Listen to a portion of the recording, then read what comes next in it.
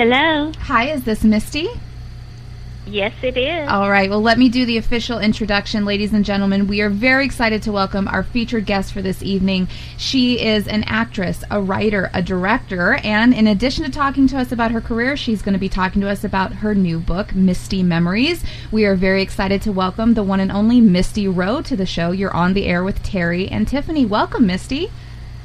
Well, thank you. Hello, Carrie. Hello, Tiffany. I want you to know that you're the girl most likely to be caught in a cornfield with, but it's all good, clean fun we just stand up and tell jokes. and uh, what I think you don't know is I have my very own cornfield. really? yes, I keep it in a shed at my house, and when I go on the road, it goes in the back of my Jeep and it goes with me. Oh, that's hysterical. Wow! Not not since not since I heard the Beach Boys used to bring sand and spread it all over the studio floor when they did recordings to, to fill the mood, and you do the same thing in a way.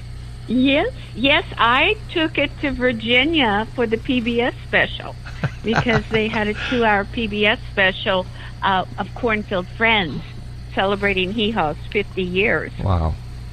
Well, I have to tell you that I'm envious, not not only because that's just a cool fun fact, but I've never been able to get anything to grow, Misty. So the fact that you're able to keep that going in and of itself. So is it right that uh, you live on the East Coast? Uh, was it true that you did at one time, or, or do live in in a mountain uh, cabin, or? Uh, oh, yes, I've had a mountain cabin up in Lake Arrowhead, Wow. and I had a home in Big Bear Lake for 10 years. Fantastic. Yeah. And I had a home in the Hollywood Hills, and I had a house in Topanga Canyon. I, I have bought and sold uh, 10 houses in my lifetime. Wow. Because, you know, actors don't work all Yeah. the time. yeah. Well, the thing about you is you've been lucky to have worked a lot. To know that you were on Hee Haw for 19 years, that's kind of unheard except for soap opera stars. Usually they're on for like forever. But to know that you were 19 years with a show, that's incredible. Oh, but I did marry a soap opera star. I heard, But but I was on. I was on Hee Haw longer than I was married to him. yeah, that that's what I heard. So you you married a dumbass that left you. I, I can't believe this. Why would anybody leave you? I I married a very sweet man who was waiting tables. I met him in acting school, and then he became a soap opera star. And you know, life changes, Yeah. and people change. That's true. And uh, we do have a daughter together. Her name is Dreama. Wow, I love that name. She, thank you. It means hope. Yeah, And she was born in the year of the woman. There in you go. 1992. So it was her idea that I would write a book about my life and career and all the pe- fabulous people I work with, and also the ups and downs. And, you know, even with everything that went on in my life, it's a very colorful book, by the way. I, I guess she was working away from home and and wound up being home when the uh, epidemic hit. You know, the pandemic, and uh, basically had the idea that you should do the book because I guess, and it was sad to hear that that I guess Alzheimer's runs in your family. And she said if you ever had that and forgot anything, you'd have the book to remind you. yes, she would read it to me. My mother had Alzheimer's for 14 years. Oh, I'm sorry. and she lived with me for part of it. She didn't care. She didn't think she had it. She was very happy. It didn't bother her. It bothered everyone else Yeah. around her. and uh, I actually wrote a play that will be coming out when the pandemic is over, hmm called "Forget Me Not," Wow. Mm. and it's a memoir of my mother's uh, journey through Alzheimer's Yeah. which is very funny in places and sad in others, but I wrote it because it took me through a journey too. You know, I had been on television and movies, and I came from very humble beginnings. And my mom was always there for me. Yeah. And then when my husband left, she was really there for me. She helped me with my baby, and then she got Alzheimer's. Wow. So then I had a child, and I had a mother with Alzheimer's. So a lot of things in my uh, career were put on hold for a while. Well, you're definitely a strong woman. That's for sure. Go ahead. I I'm not strong because I wanted to be. Yeah. It's just someone had to take care of a child and a w- and a mother with Alzheimer's, and you deal with things. It's it's not the life um, that you had hoped for, but you know there are blessings along the way Yes. because you meet people that help you, that inspire you, and not everybody has a happy life. Right. I- But I- I've had great parts of my life that were very happy. Yeah. I guess unfortunately you even lost a child once, right? Yeah. Yeah. Yeah. Sad. His name was Paul. Um, and I actually did a documentary, um, uh, and uh, Naomi Watts uh, narrated it. It was only for people who had lost their children. Mm. And um, it, it was a, a trying time.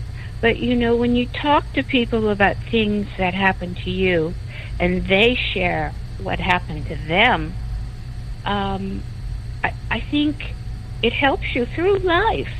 And that's why I did the documentary. And now I've written a book.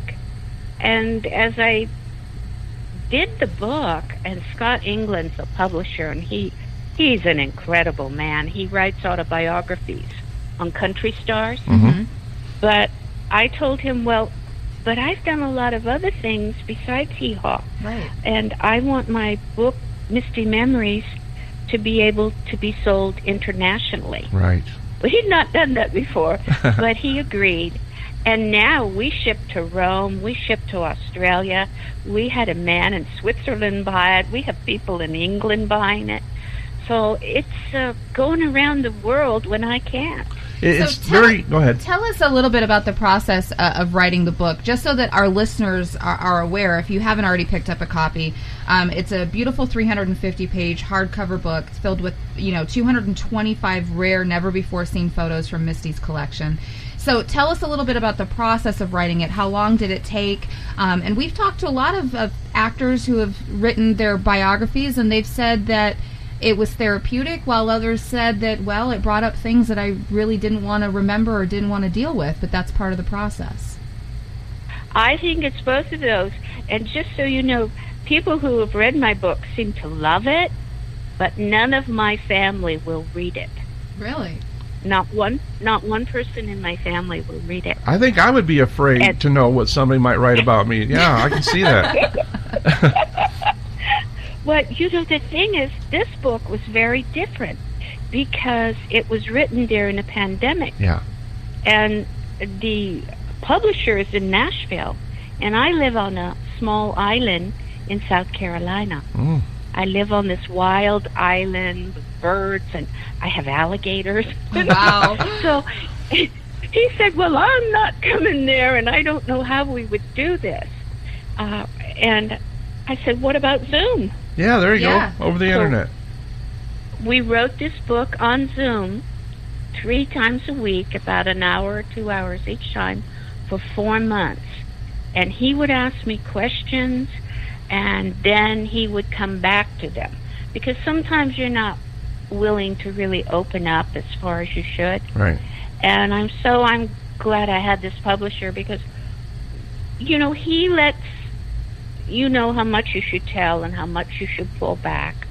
And then he said, every celebrity I've ever worked with has a box, a box of mementos and photos that's somewhere in their attic, garage, basement that has things from their life. Mhm. And I want you to find that box Perfect. and I want you to send it to me. So I, I sent him. Oh my gosh, I sent things from seventy years. So Wow. I- and and I never lie about my age, by the way, because I could give a damn. hey, you still look good. It doesn't matter. I mean, you're still beautiful. well, well, thank you. I do walk every day, and I tap dance in the kitchen. Well, be, I don't go to the gym now because everybody's wearing a mask. and Yeah. you know, you can't really huff and puff lifting weights and things with a mask on. Well, I can't, but I have, you know, I'm on an island and I Right. walk on the island and Well, we need to keep that I mean, book selling. everybody is sort of self-isolating, Right. For sure. Right. We need to keep that book selling so that guy don't get tempted to sell that stuff on eBay because that would fetch a pretty penny. Uh, let me ask you about this book. Now, you're talking about he knows how much to pull back and how much to tell and how much not to tell. I can imagine you've got you know some celebrity stories. Have you said anything in the book that any one of your celebrity friends is, was like, "I wish you wouldn't have said that"? Um, no, but a lot of them have died. Yeah. So, unfortunately, I I mean, I have had a great career, and it has lasted a long time, and I've been very blessed that since I was 15 years old, all I had to do was act or sing or dance, and now I write and I direct, and they say that um, only five percent of the Screen Actors Guild can make a living from acting. hmm I mean, actors generally have other jobs, Right. but I never did. I was very blessed. And I wasn't the biggest star, and I wasn't the richest person.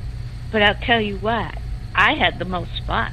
Yeah. yeah. Absolutely. Well, let's talk a little bit about uh, how you got uh, how you got started in the business, um, because I understand that you got started actually at at 15, which you just alluded to. So, how what was your first inkling into the business?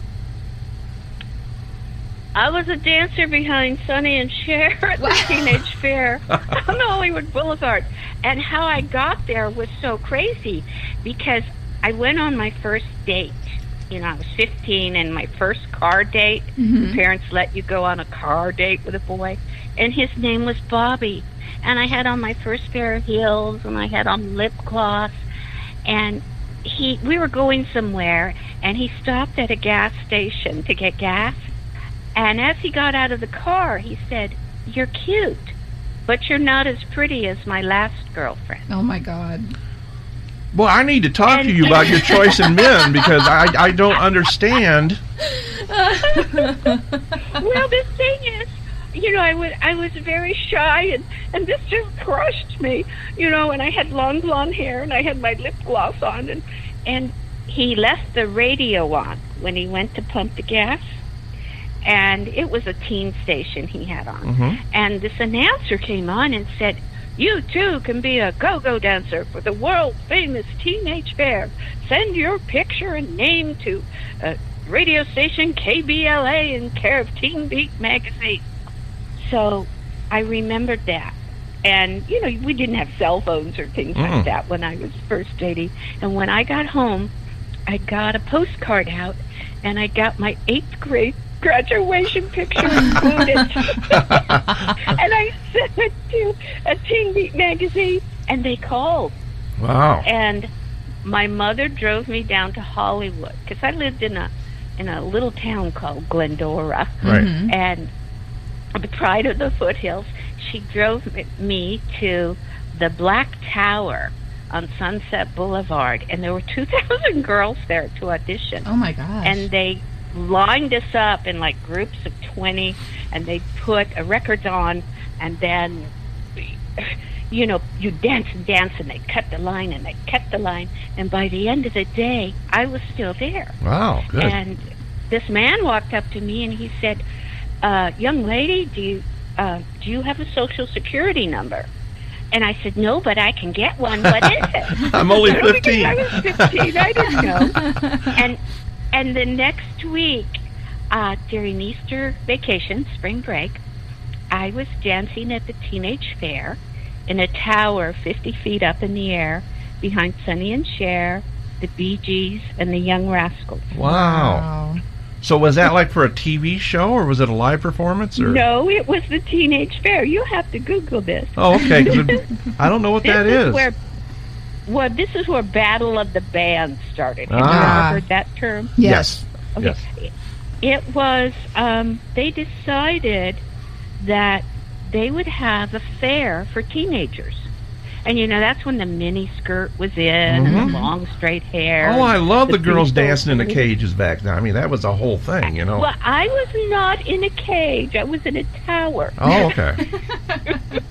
well, in my mind, you were and probably we had on bell bottoms and midriffs and uh, we paint hearts on our bellies. You know, it's just that we had the, I had the long blonde hair. I probably had the look at the time. I, I think maybe This- Goldie Hawn stole her act from you and she did Laugh-In.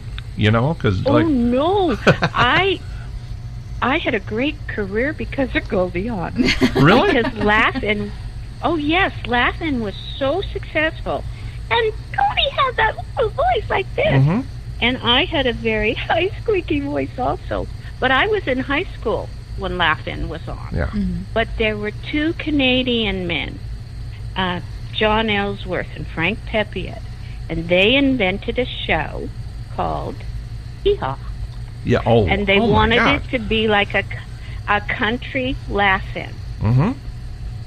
And they had uh, done the Smothers Brothers show, and they had done Sonny and Cher, and they wanted to do a country show. That's crazy because I I never realized that because I always said i it's hee haw in the country. I mean, it's laughing in the country. Excuse me. Yeah, that's exactly what yeah. it was. So they said we want to do a country show like Laugh-In. hmm We want comedy. We want music. We want singers. We want pretty girls. And they did it. And then I think it was on CBS, and CBS canceled them because it was too bucolic. Yeah, CBS and, they and all them networks have problems with the country shows. I don't know why. Uh huh. But you know, our producers, these young men, hmm they actually took mortgages out on their homes Oh wow. and produced Hee Haw in Nashville. And that's when I was hired. Wow.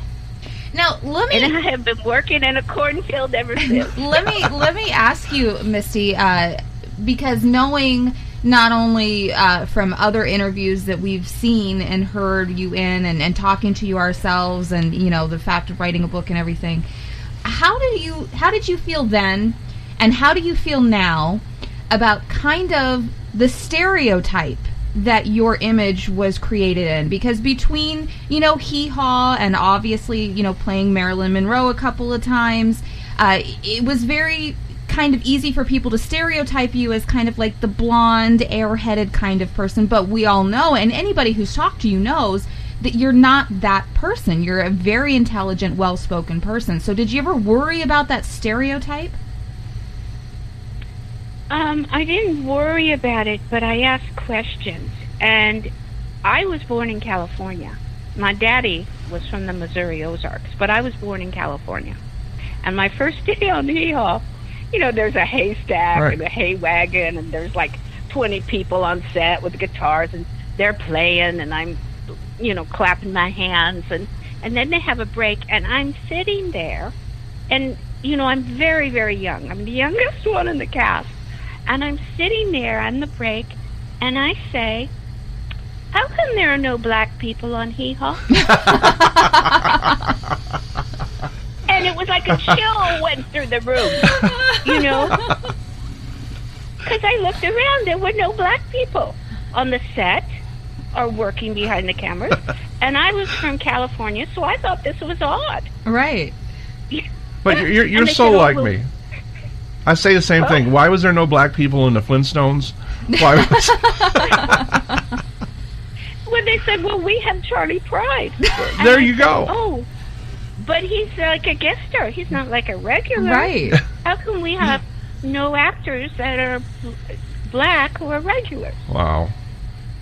Now, And now that was then, and and I kept it up, yeah. Right. and I brought in pictures of young um, black actresses who could sing and dance, and I gave them to the producer, and uh, he finally said, "Well, you know what we're going to do? We're going to get a black regular, There you go. and uh, we're going to get uh, Scatman Crothers." Oh yes. Oh, Oh, I love him so much. Yeah. and I loved him too. Yes. And it so it was like little seeds I was planting. I, I, I mean, I didn't riot, I didn't march. I, I just asked questions, right and that's the way it was um, throughout my career. And uh, you'll have to read the book because I did something no other hee haw girl ever did. Boy, that leads to That's speculation. That could have been a lot of things. I've, I've got to find that out. Misty Memories. Like I got to get the book. Got to find out. But he, I guess, from what I understand, like everything was on cue cards, and I can imagine there was a lot of ad libbing. And I guess when you guys messed up, they kept the bloopers in, right? Oh, they did. And uh, Dick Clark and Ed McMahon had a show called uh, the Golden Blooper Awards, Right. And they had us on, and they gave us the Golden Blooper Award, and, and Dick Clark handed it to me. So it was really great fun. Really great fun. Well, you got Oh, to can work. I tell people where we can buy the book? Oh, absolutely. I want full details. All right. Well, you can buy it on Amazon.com, on Amazon Books. Mhm. But you can also, the book has its own website, Perfect. mistyrowebook.com. And if you go there, um, you can buy one that's autographed. You can buy a Zoom. My daughter is running the Zoom signings because I can't go to bookstores and sign the books right, Right. now. Mhm. So we're having book signings. They're five minutes long, and people can see me and I can see them, and they can actually ask me questions, and they can see me sign the book to them, and I personalize it to them. So that's kind of fun. That's very cool. So, how many guys ask you to put on the lipstick and kiss the book? Only one. Only, Oh, really? really? And do you know who it was? Who? Do you know who it was?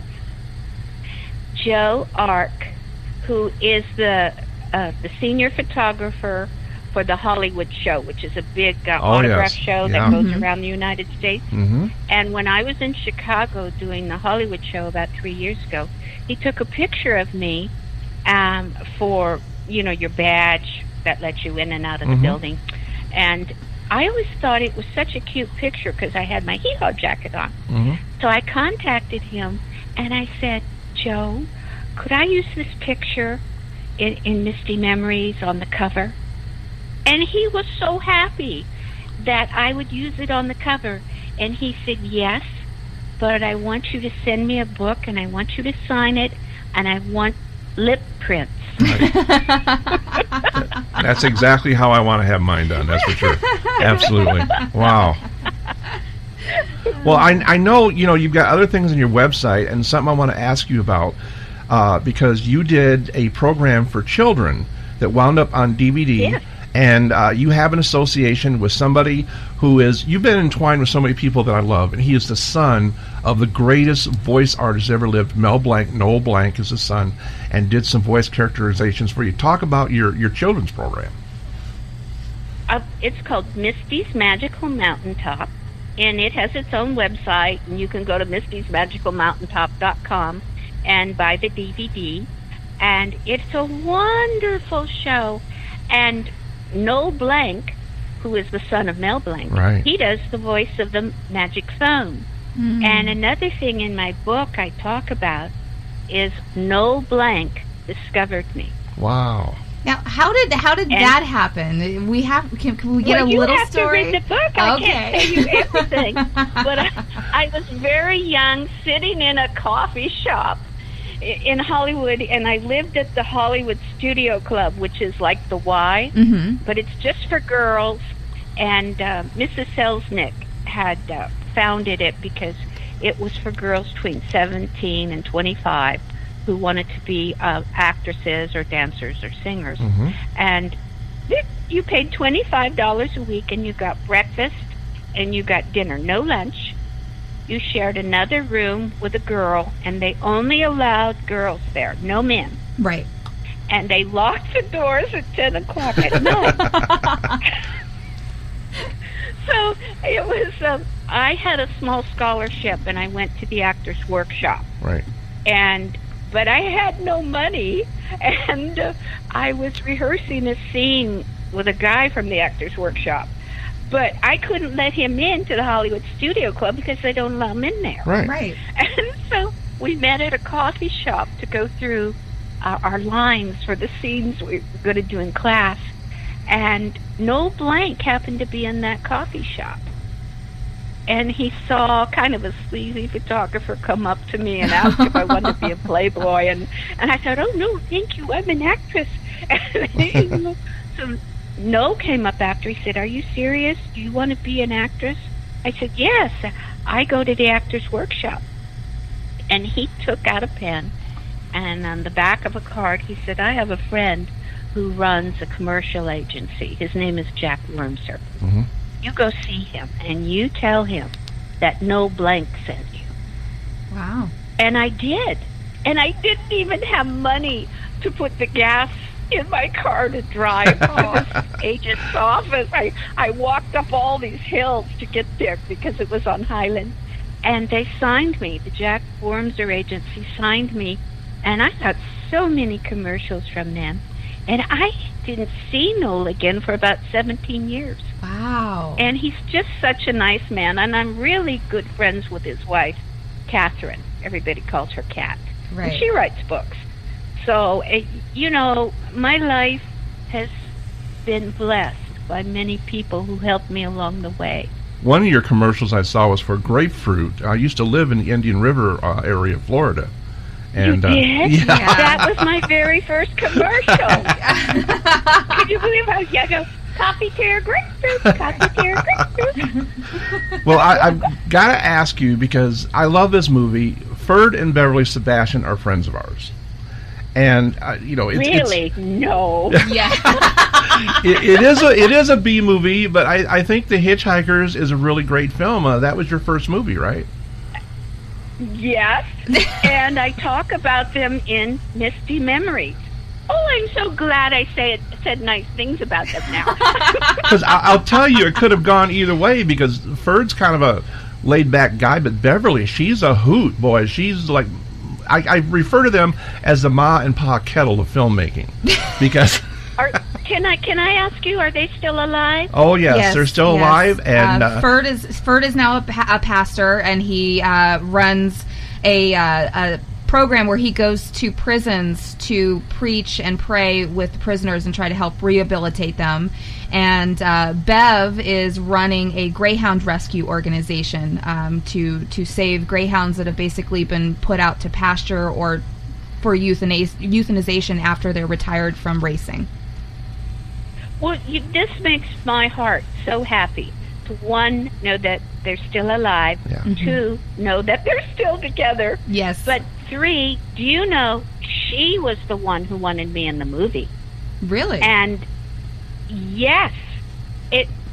You have to read the book because she saw my picture. I had no photographs to go interviews on, so that sleazy photographer who wanted me in Playboy, Right. he said, "Well, if you won't pose for Playboy, I'll take a picture of your face. You got a great face, kid." You know. mhm. So I said, "Well, if you take the pic, I don't have any money to give you for the photograph." And he said, uh, "You don't need money. I'll take the picture if you'll let me put it in my window of my photography studio." So I said, "Yes, if I could have an eight by ten of it." So it worked out great because then I had an eight by ten to go to auditions with.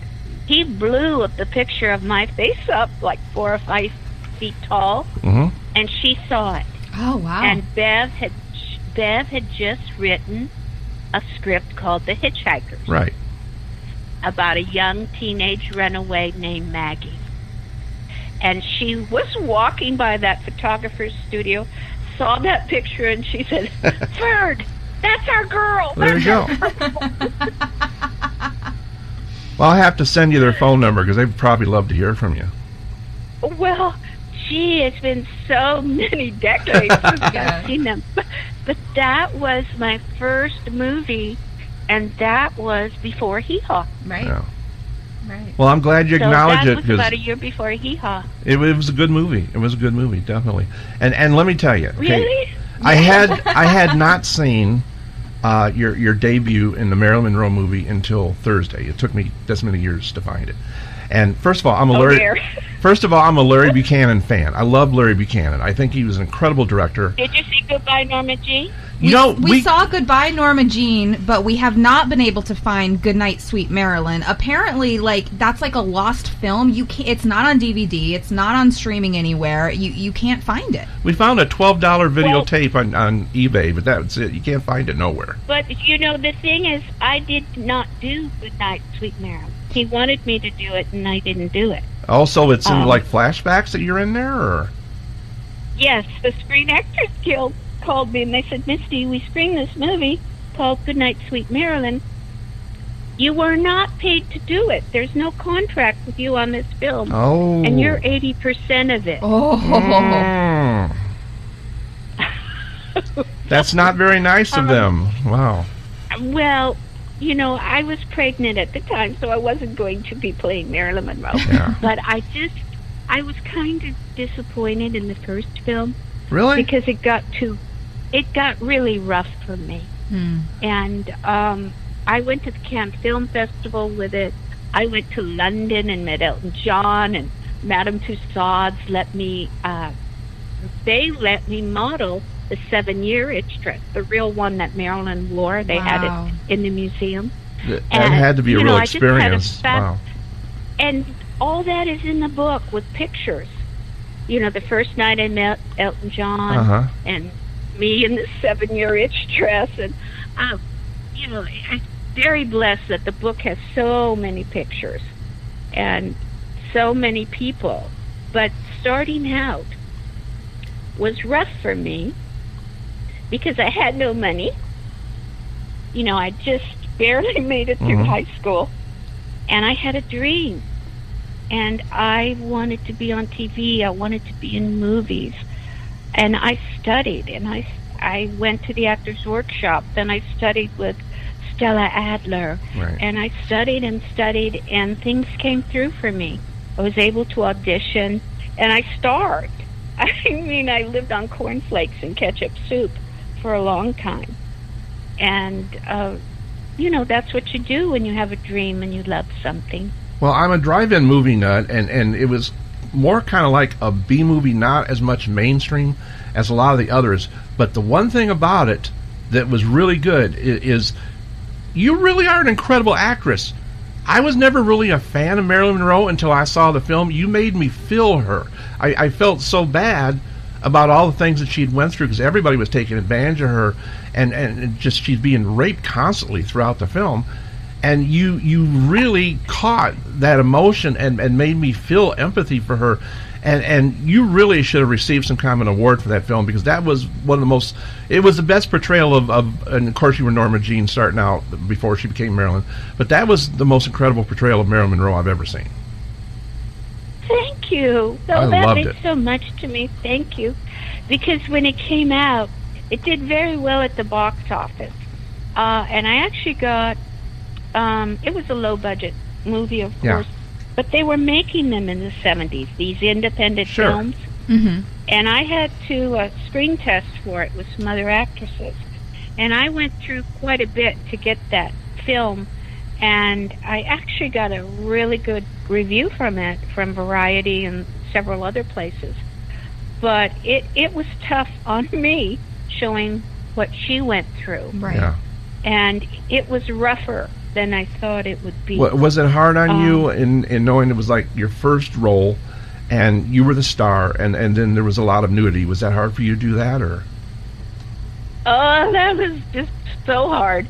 And and he wanted more. Yeah. And I, I Well, said, that's- no, that's Larry I'm not doing Buchanan. that. And, uh, and he actually dubbed my voice at the end of the film. I didn't say that line. Oh, really? It seemed like it wasn't in the script, and I refused to say it. hmm He dubbed it in with a, a Marilyn kind of voice Yeah. actress, and they didn't tell me about that line till Oh I- my God. I was at the Cannes Film Festival, and at the premiere of my film, that line came up. are you talking about the line Yeah. where you, you say you will never blank Yes. like yeah, another yeah, yeah, Let's let's not say that. Okay.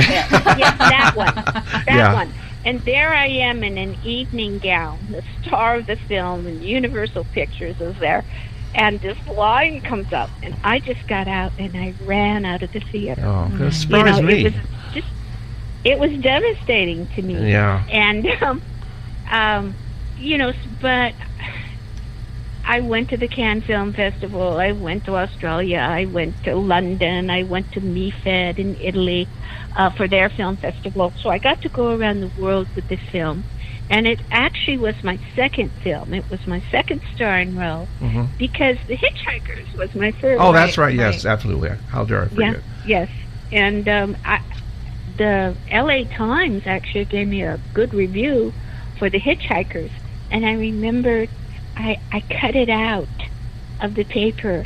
And when I went in, because you know you didn't have the internet then, you Yeah. you just didn't digitally send things. Right. I take the picture of my name on the marquee and my little review when I went to interviews. And you had this portfolio of Mhm. pictures of you, and I would show them that review. And that review got me an interview for Hee Haw. Perfect. wow.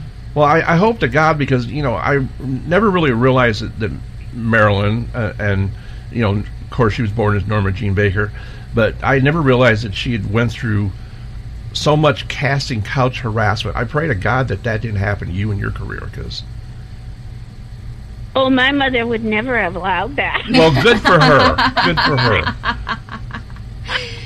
My I'm mother was a devout Catholic. She used to drive me to interviews and things. And then when I moved to Hollywood, my dad wouldn't let me live anywhere but the Hollywood Studio Club, which didn't allow him in.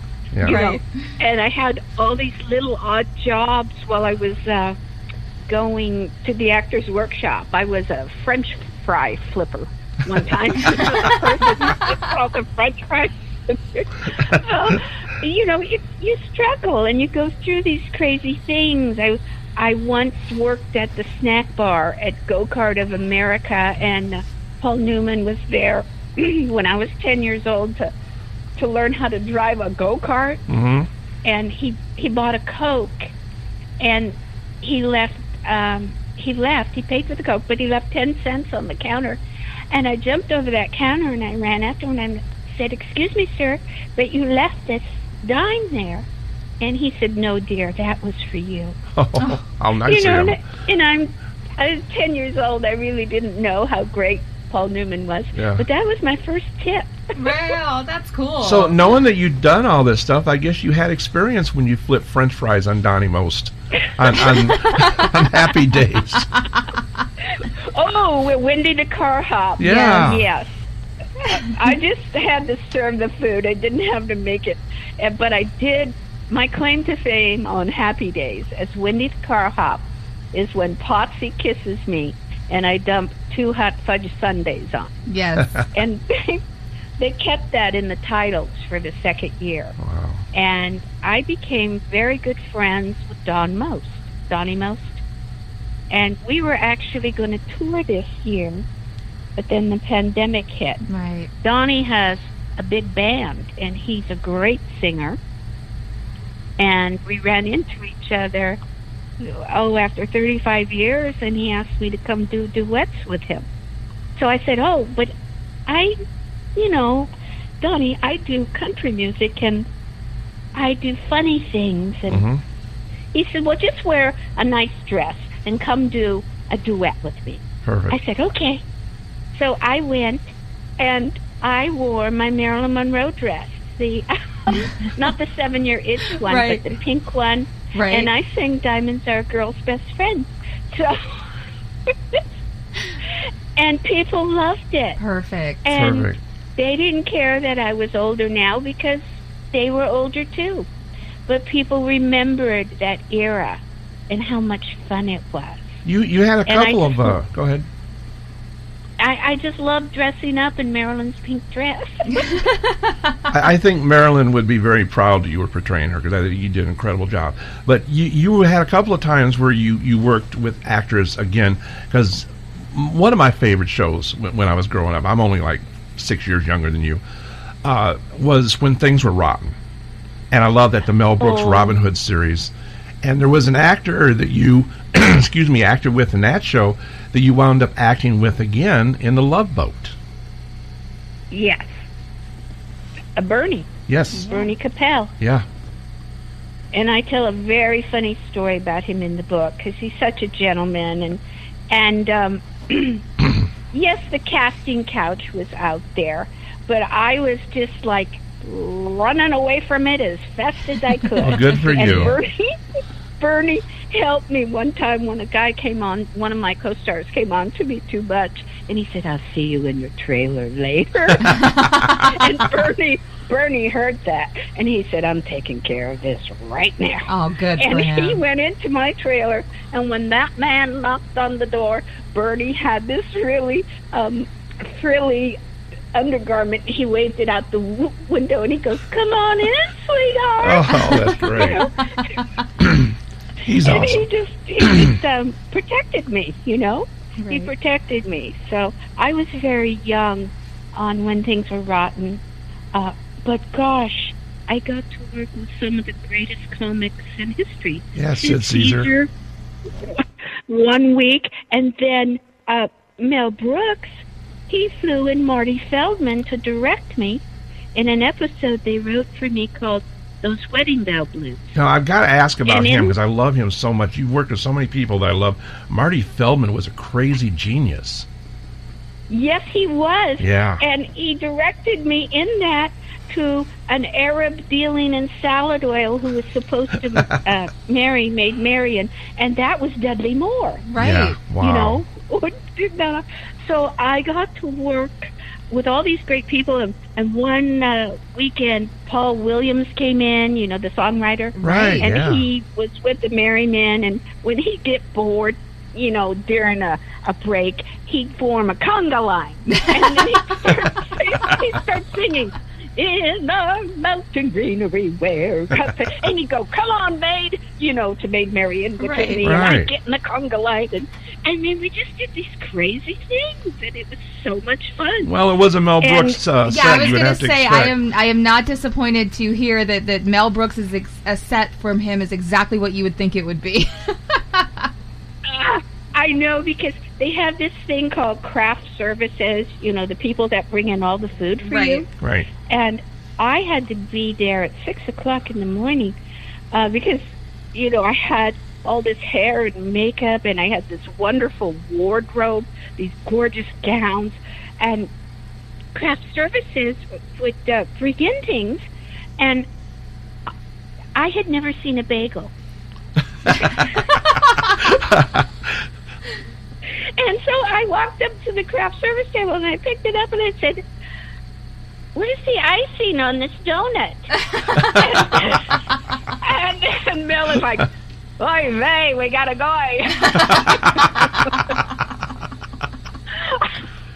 It- it's so you know, great they that had, Mel had to show me the proper way to eat a bagel.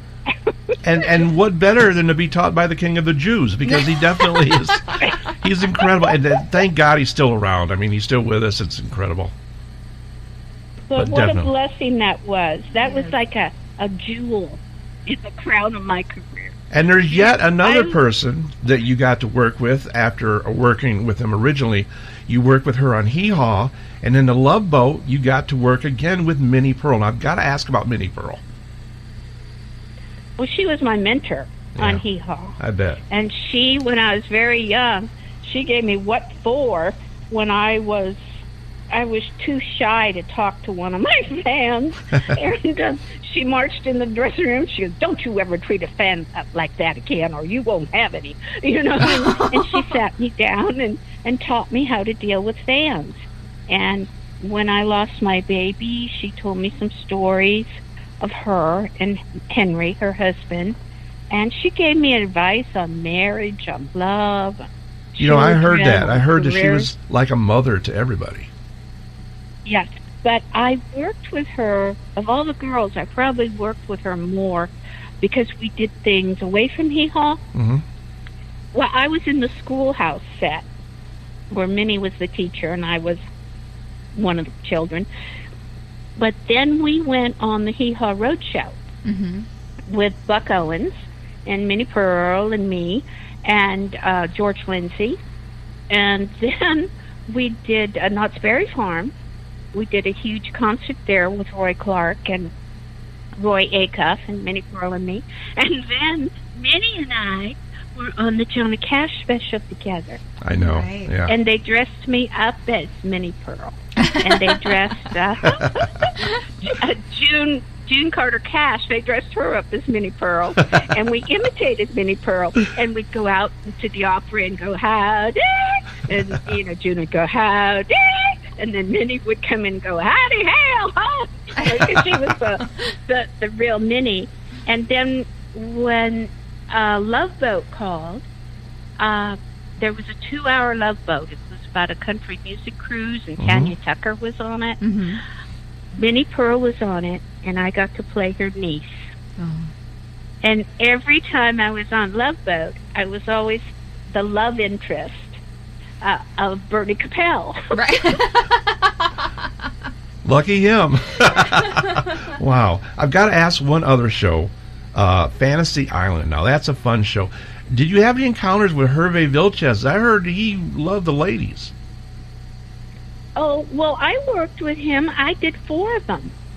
And um, Ricardo Montalban, hmm um, he, uh, the last Fantasy Island I did, he directed me. Mhm. And it was quite wonderful. And, you know, it was just a magical show. And in the beginning, they didn't shoot it on the loft at one of the studios. They shot it at the um, Pasadena Arboretum. hmm It was a beautiful, beautiful place. You know, the tower Mhm. where Tattoo says, the plane, the plane. right. And we'd shoot it outside. And I loved working for Aaron Spelling Oh, yeah. on the Love Boat. He was the giant of television back then. Yeah. Yes, and, and Arthur Rowe produced Fantasy Island. And, uh, uh, you know, Spelling used me on so many shows. I did Aloha Paradise with uh, Debbie Reynolds, and I got to go to Hawaii for three weeks. So that Ooh. was kind of kicky. Yeah. Well, I guess So you're. it's a good thing I did all these things because what can you do now? Right. I know. uh, You know, I wanted to find out because I guess you said in an interview that of all the TV things you did, you did a whole lot of them. Love American Style, one of my favorite shows. But I guess you really like doing Airwolf with Jan Michael Vincent and Ernest Borgnine. We love Jan Michael Vincent. he was incredible. That was my favorite part that I ever did on TV. I don't know if you've seen it. It's called Out of the Sky. hmm And it was a huge part for me. And they shot it at Universal and they actually built a set because an outdoor set that said Roxy on it um, to do the concert. And they actually took me up in the Airwolf, the Big Mama. oh wow. Boy, is that thing powerful. And Jan Michael Vincent was very nice to me. And Ernest Borgnine had been on Hee Haw. So I already knew him. And he used to run lines with me on the back lot. And he, he was a great guy. But I loved the role of Roxy. Yeah. Well, before before we wrap this up, Misty, I, I have to ask because I know that Terry will forever regret it if if we don't ask because he was a huge fan of both uh, Buck Owens and Roy Clark. Um, so, can you tell us a little bit about? Obviously, we know what they came off as on screen, but what were those two men like in, in real life and on set? I guess they were very different. they were very different. And Buck was kind of crazy, funny, you know. And and and you have to read my book, Misty Memories, because he did something I did not expect.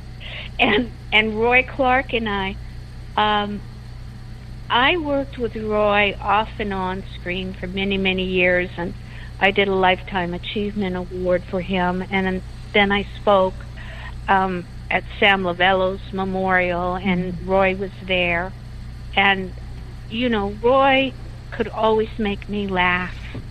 And he was also an actor. He was not only a fine singer, and he could play almost any instrument, but he was a wonderful comic actor. Sure. And we used to do a lot of skits and things together, and we used to do a lot of appearances together. So I will never forget them. And I think when you have had the kind of career I've had to work with so many greats, hmm I wanted to write it down. Yes. I I wanted to remember them and honor them. And there's lots of pictures in the book of Roy Clark and Buck Owens and the Hee Haw Girls and uh, just you know even you know Happy Days and when things were rotten and Mel Brooks and and me as Marilyn Monroe and, and, and meeting Elton John. I mean, there's so many wonderful things. And my daughter was right. If there ever comes a time where I can't remember, she can read the book to me, Right. but she will also have it. Because Yes. she told me she was born after my TV career. So she never knew the kind of things I had done. You know, we might be at a place in a store sometime and they go, Oh, Misty Rowe from Eon and she had no idea what they were talking about hmm. as a child. Right.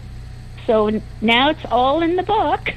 Well, uh, again, uh, for listeners, you can check out the book. Just head over to mistyrowebook.com. Also, Misty's uh, main official website is over at mistyrowe.com. Uh, Misty, knowing that, that you have written and directed uh, plays, I mean, you, you even directed and starred in Always Patsy Cline for a while, and now you have this great book, Misty Memories.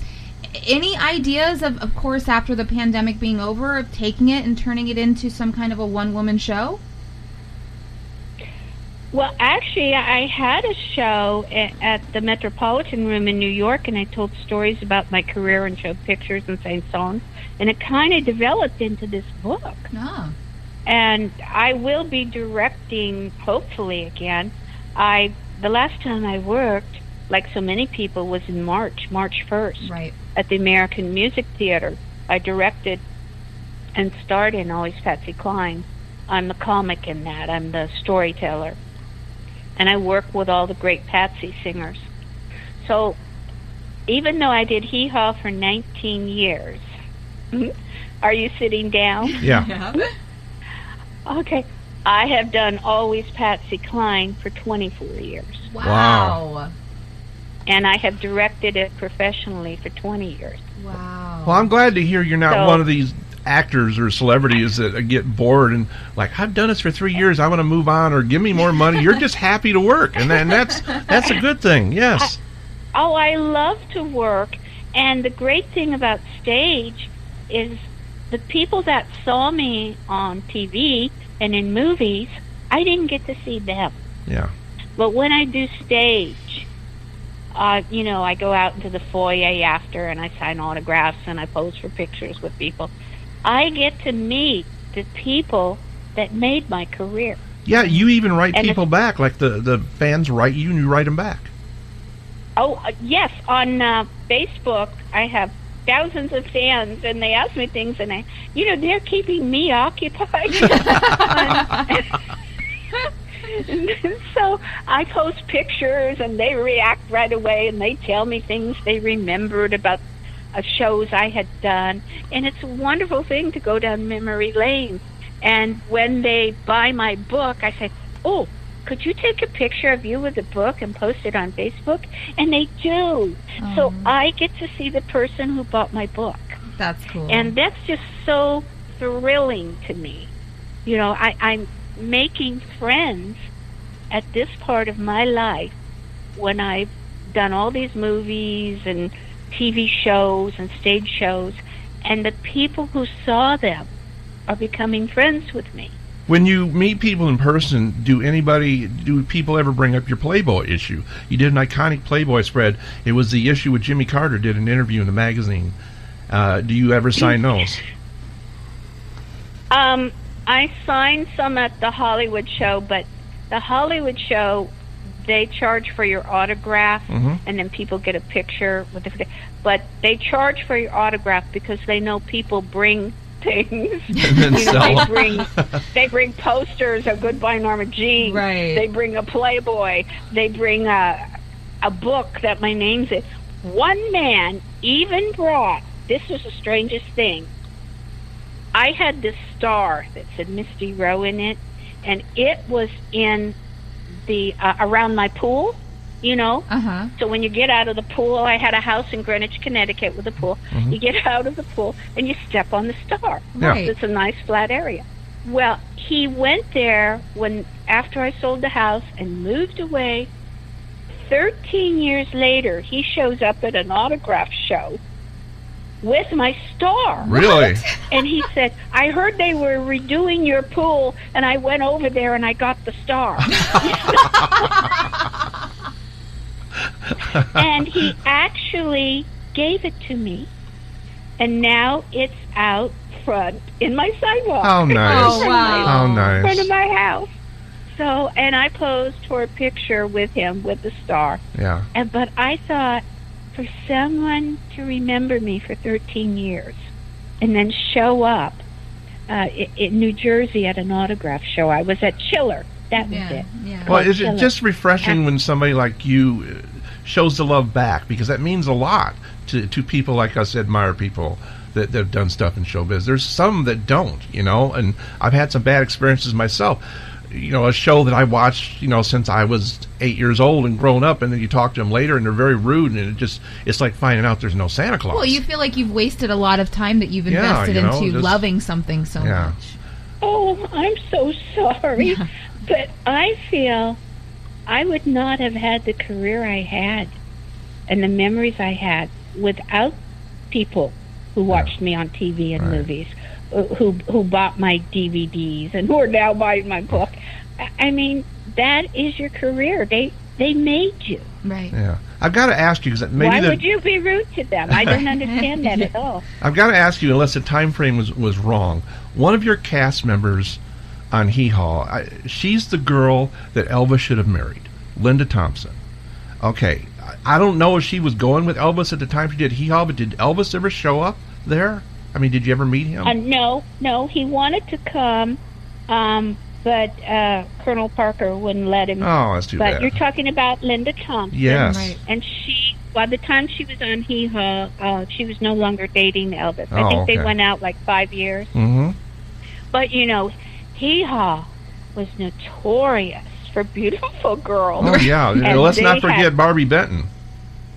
Well, Barbi was my best friend for five years. Yeah. And then Marianne, when Barbi left the show, I became best friends with Marianne uh, Gordon, who met Kenny Rogers on the set of Hee Haw Yep. and then married him. Uh, so, and she was my um, maid of honor at my wedding to the soap opera star Wow. who ran away. Right. Well, knowing how Barbi had that great connection with Hugh Hefner, and there's another marriage that should have happened. I wish they would have gotten married, but unfortunately they didn't. What oh did no, no, no! They, she married someone in like 1978 that she's still married to, George, yeah? Oh, good. George Gradow. But what did what did and uh, they have a be- go ahead? they have a beautiful home in Aspen. Just Perfect. beautiful. Well, I'm glad she's happy and, And- things turned out. I wanted to find and out I what see her from time to time. Pat. Perfect. What does she think your Playboy thing? Because like she was in Playboy so much and, and did beautiful photos. Did she like what they did with you with with the great spread you did? Because it was beautiful photos. Well, thank you. Um, I talk about that in my book too. Barbi is the reason I was in Playboy because she made me do it. and I was thinking so. I was thinking that probably happened. Remember, I, I, I'm kind of a shy person when it comes to that, and I was so shy. I made them get a female photographer, hmm Suze Randall, and um, I made them shoot it at my home. And they brought a lighting man to do the lights, you know. Right.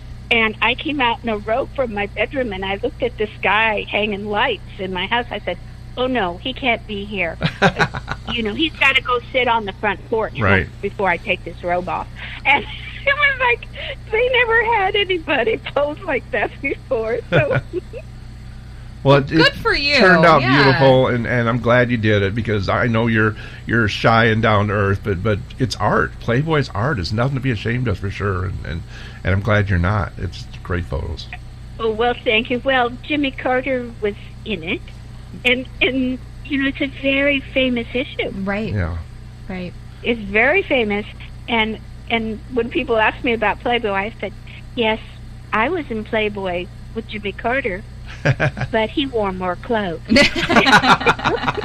Better to be in Playboy with Jimmy Carter than uh, uh, the guy that was hanging out with Monica Lewinsky. You know, Bill Clinton. Bill Clinton. So, so All right. Well, Misty, I want to thank you so much for spending some time with us this weekend. We encourage our listeners again check out the book. The book is called Misty Memories, and you can head over to mistyrowebook.com. Also, check out Misty's main website at mistyrowe.com. Um, and thank you not only for joining us, but thank you for all the entertainment over the years. I mean, you've had an amazing career. You even did Little Abner with Joe Namath. That's incredible. never, I never. did. Yeah. And if you get my book, you'll see Joe in there and, and hear some real funny stories. I bet he, he's, when he's we a work card. together. Long as I don't read Thank something, Thank you so much. absolutely, it's, it's been a pleasure, and, and I'm so glad you sound just like yourself. I love your voice. Oh well, thank you so much. All right. Thank Okay. you, Misty. Have a great rest of your weekend. Good night. Bye bye. All right. Bye bye.